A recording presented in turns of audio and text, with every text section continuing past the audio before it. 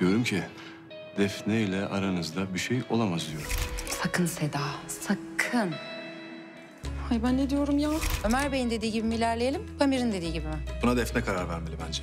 Adı üstünde geçmiş. Gelecekte ne olacağını hep birlikte göreceğiz.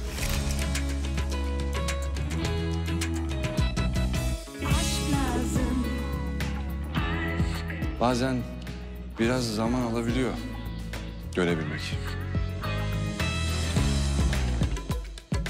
Bence sen benden değil, aslında kendinden korkuyorsun. Belki de kendine hakim olamamaktan.